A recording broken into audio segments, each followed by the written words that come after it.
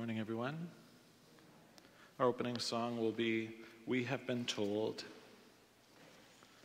We have been told, we've seen his face and heard his voice alive in our hearts. Live in my love with all your heart. As the Father has loved me, so I have loved you. I am the vine, you are the branches, and all who live in me will bear great fruit. We have been told, we've seen his face and heard his voice alive in our hearts. Live in my love with all your heart. As the Father has loved me, so I have loved you. You are my friends if you keep my commands. No longer slaves, I call you friends.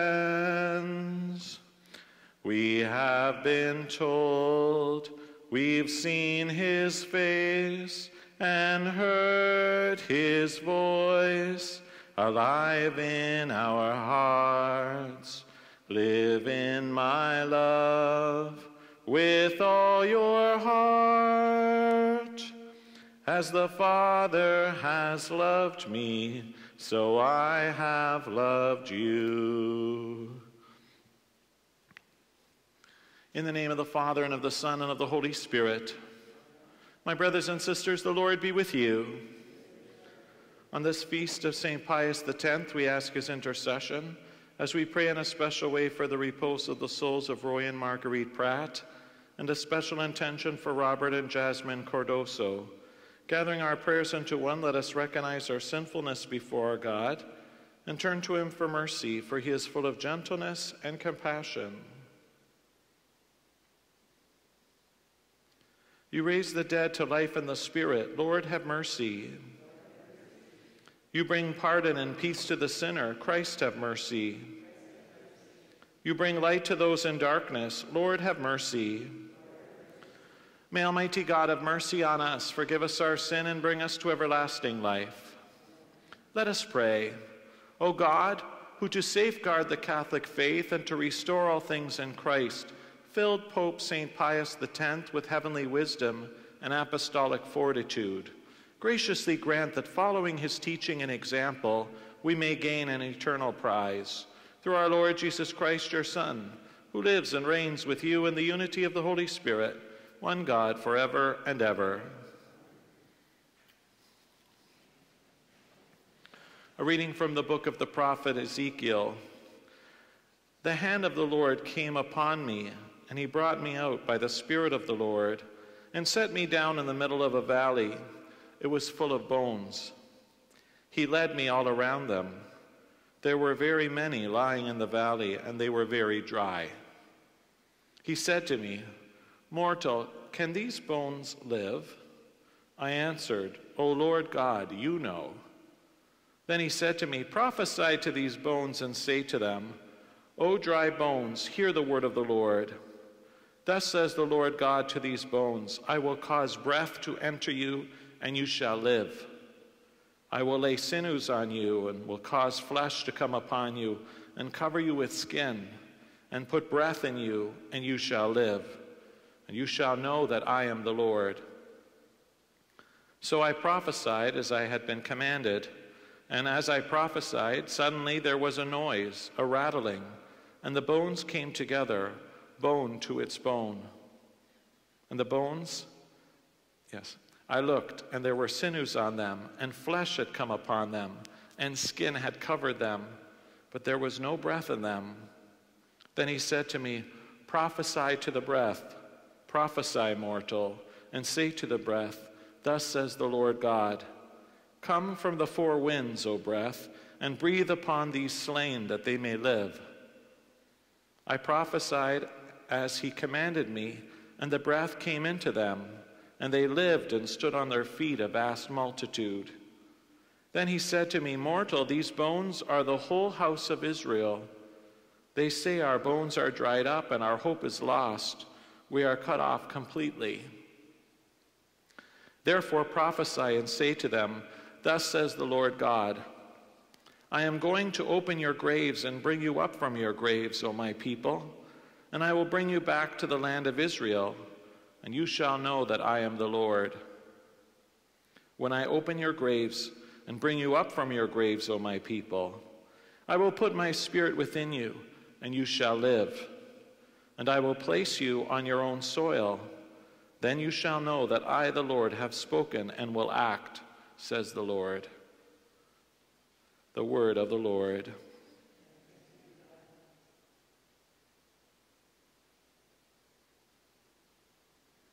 Give thanks to the Lord, God's love is everlasting. Give thanks to the Lord, God's love is everlasting. Oh, give thanks to the Lord, for he is good, for his steadfast love endures forever. Let the redeemed of the Lord say so, those he redeemed from trouble. Give thanks to the Lord. God's love is everlasting. Some wandered in desert wastes, finding no way to an inhabited town. Hungry and thirsty, their soul fainted within them. Give thanks to the Lord. God's love is everlasting. Then they cried to the Lord in their trouble, and he delivered them from their distress. He led them by a straight way until they had reached an inhabited town. Give thanks to the Lord. God's love is everlasting. Let them thank the Lord for his steadfast love, for his wonderful works to human beings. For he satisfies the thirsty, and the hungry he fills with good things. Give thanks to the Lord. God's love is everlasting.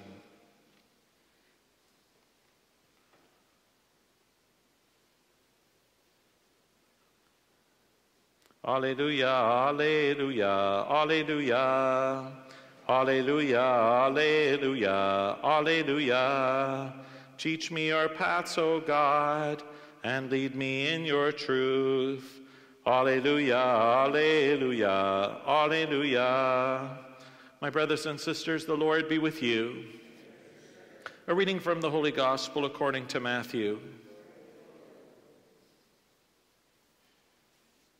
When the Pharisees heard that Jesus had silenced the Sadducees, they gathered together, and one of them, a lawyer, asked him a question to test him Teacher, what commandment in the law is the greatest?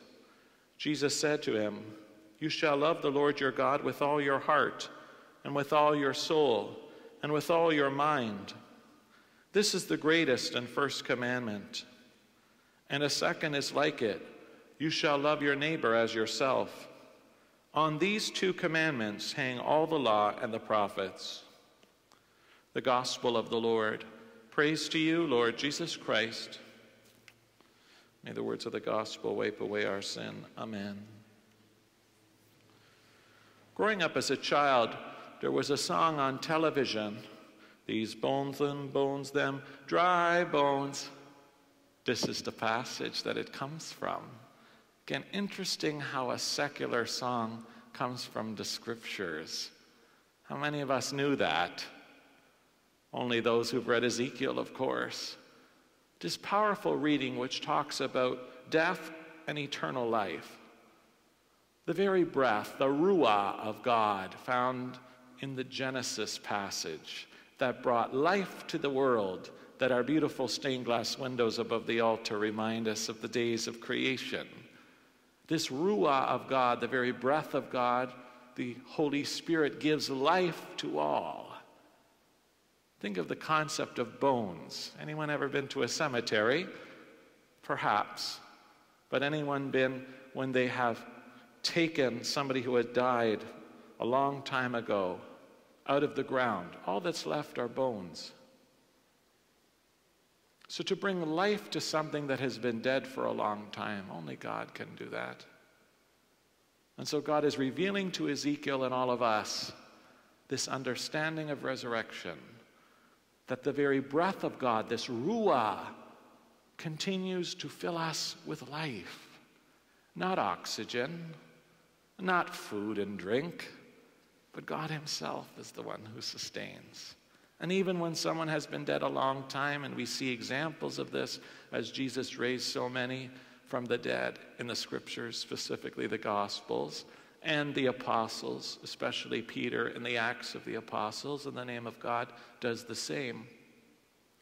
But we see this beautiful link between life here on earth and eternal life.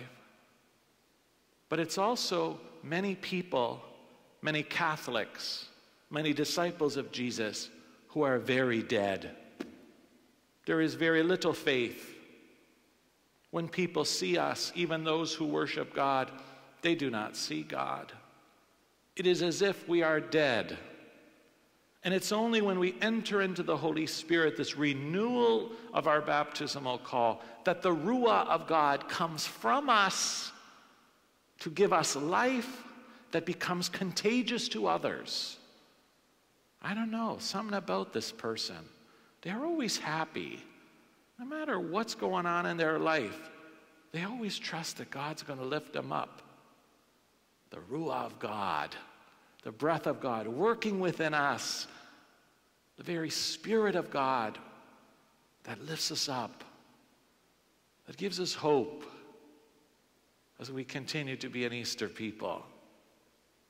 And please God, the same Ruah goes with us that when we pass through the waters of death, it is this Ruah that lifts our soul to God until the day of final judgment, when our dry bones will be lifted up by the Ruah of God, His very breath please God, to the gift of eternal life. So these powerful readings help to remind us that in the gospel, as Jesus says, love God, love of neighbor. You want eternal life? This is the secret. You don't follow it, you're in trouble. And by the way, it's both. We can't just love God. If we don't love neighbor, I'm in trouble. So it's not a, well, I'm at 50%. Not good enough. Jesus' standard is here. Lord, may we be renewed by your Ruah, by your breath, so that by the power of your Holy Spirit we may continue to live as you call us to, and one day enjoy the gift of eternal life. Let us pray. Let us turn to God, the source of all life, and present our prayers to Him. Our response is, Lord, hear our prayer. Let us pray that all members of the church may be refreshed in faith by the Ruah of God, the same life giving spirit that emboldened Pope St. Pius X, whom we celebrate today, we pray. Let us pray that those who exercise authority in our world may be blessed with wisdom and compassion, we pray. Let us pray for those who are suffering from depression, grief, anxiety, and hopelessness that they may experience the healing power of God, we pray. Let us pray that the Holy Spirit may continue to transform every heart in this community of St. Joseph to the fullness of love, we pray. Let us pray for an increase in vocations to the priesthood, religious life, and the diaconate, especially in our great diocese, we pray. Let us pray for an end to the spread of the coronavirus for all those affected by the virus, that they may be healed by Jesus, the divine physician, for researchers to find a vaccine, for all frontline and medical workers, that they may endure in serving and protecting others, and for all who have died as a result of the virus and their families left behind, that God may be their comfort and peace, we pray. And let us pray for all who have died. We remember especially Roy and Marguerite the holy souls in purgatory, and all who have died. May they experience the new life promised by God, we pray. And for all the intentions we hold within the silence of our hearts.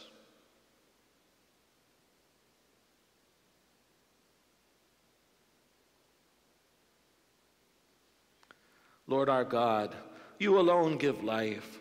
Fill us with your ruah, your breath, and hear and answer these prayers we bring before you this day. We ask this in all things through Christ our Lord.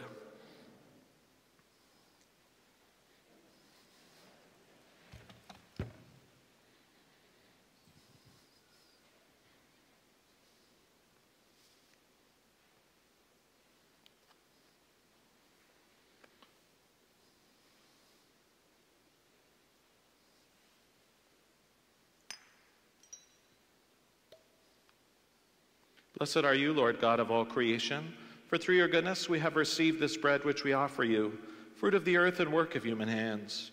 It will become for us the bread of life. By the mingling of this water and wine, we come to share in the divinity of Christ, who humbled himself to share in our humanity.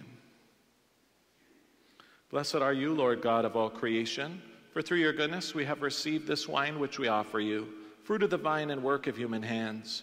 It will become for us our spiritual drink.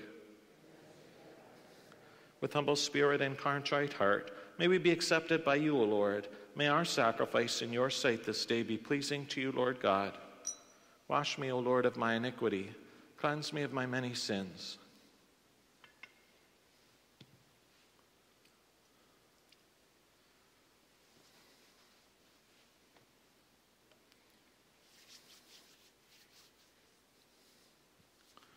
Pray, brothers and sisters, that my sacrifice and yours may be acceptable to God the Almighty Father.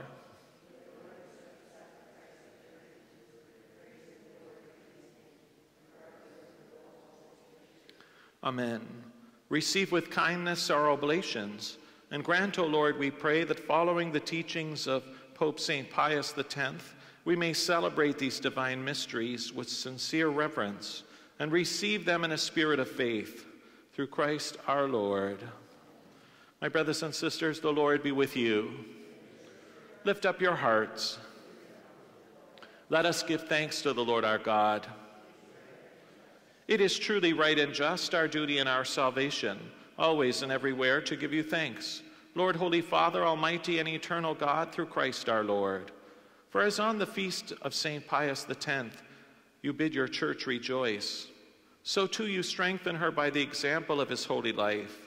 Teach her by his words of preaching and keep her safe in answer to his prayers. And so, with the company of angels and saints, we sing the hymn of your praise, as without end we acclaim Holy, holy, holy Lord, God of hosts, heaven and earth are full of your glory. Hosanna in the highest. Blessed is he who comes in the name of the Lord. Hosanna in the highest. You are indeed holy, O Lord, the font of all holiness. Make holy, therefore, these gifts, we pray, by sending down your Spirit upon them like the dewfall, so that they may become for us the body and blood of our Lord Jesus Christ. At the time he was betrayed and entered willingly into his passion, he took bread and giving you thanks, he broke it and gave it to his disciples, saying, Take this, all of you, and eat of it, for this is my body, which will be given up for you. My Lord and my God.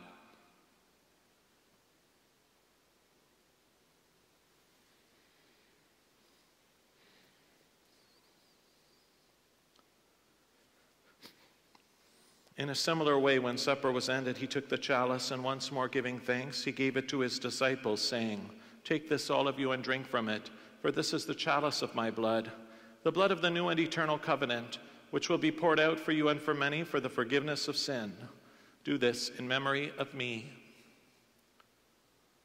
My Jesus, mercy.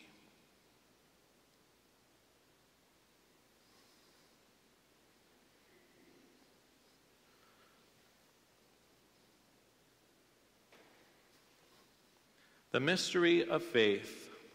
We proclaim your death, O Lord, and profess your resurrection until you come again. Therefore, as we celebrate the memorial of his death and resurrection, we offer you, Lord, the bread of life and the chalice of salvation, giving thanks that you have held us worthy to be in your presence and minister to you.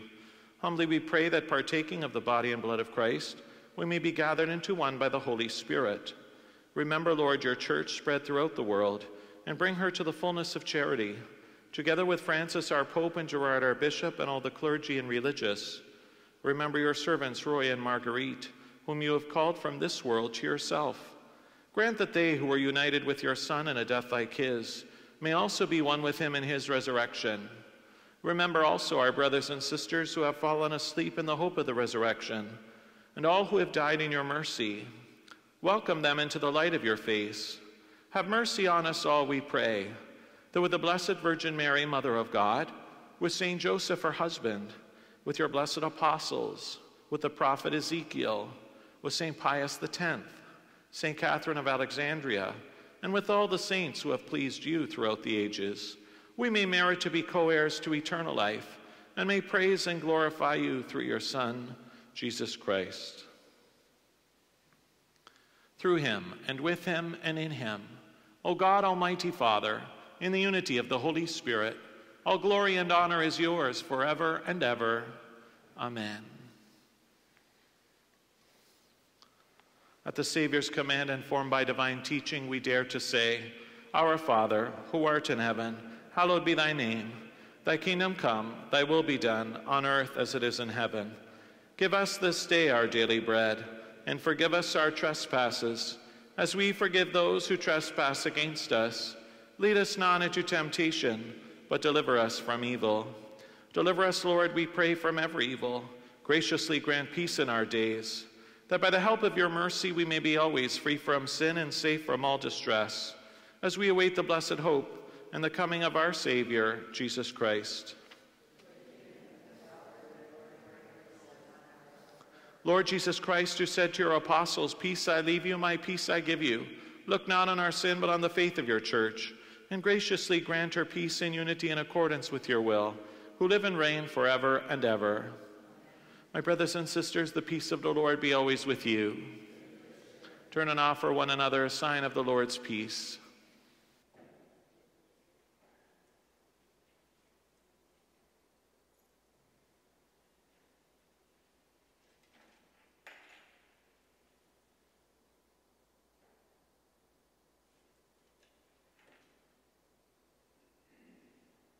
Lamb of God, you take away the sins of the world have mercy on us. Lamb of God, you take away the sins of the world, have mercy on us. Lamb of God, you take away the sins of the world, grant us your peace.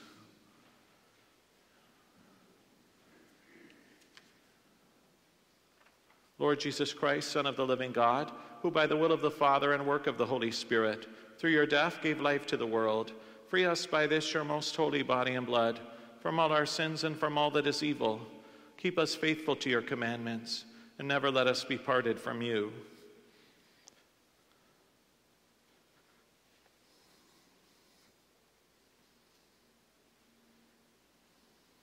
Behold the Lamb of God.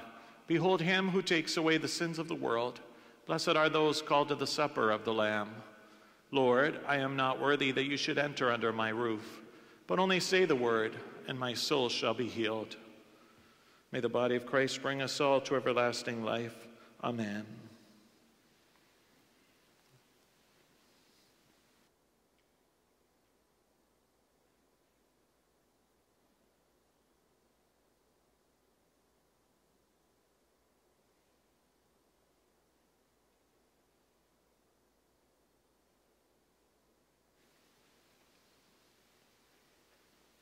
May the blood of Christ bring us all to everlasting life. Amen.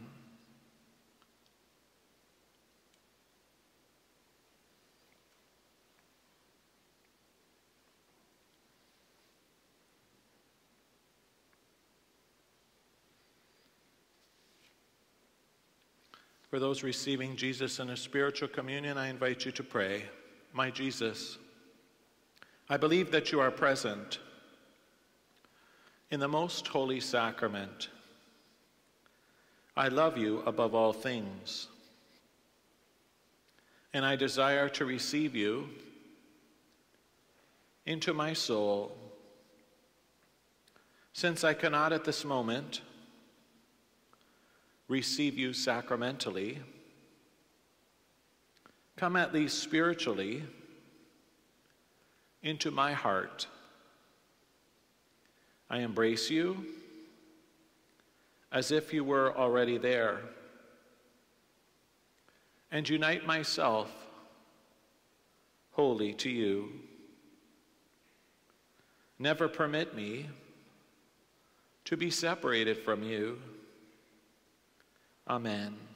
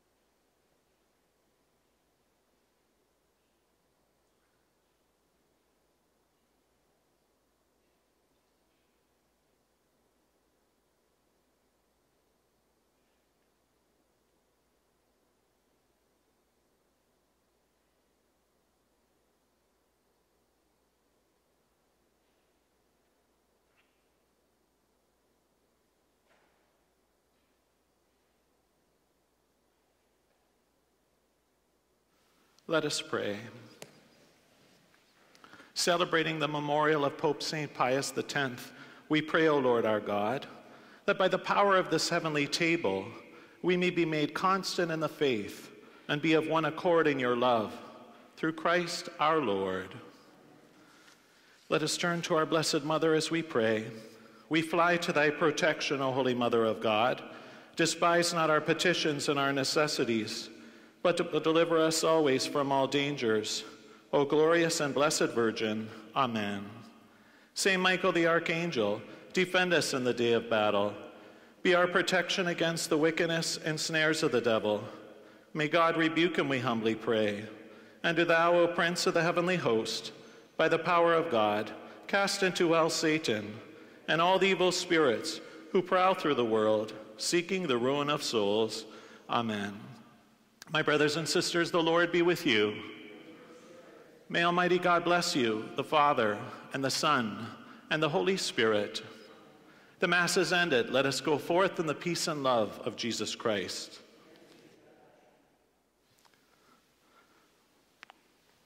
We have been told, we've seen his face and heard his voice alive in our hearts. Live in my love with all your heart. As the Father has loved me, so I have loved you. No greater love is there than this, to lay down one's life for a friend.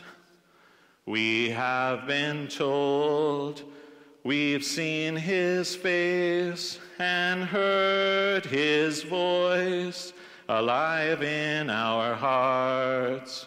Live in my love with all your heart. As the Father has loved me, so I have loved you. God bless you.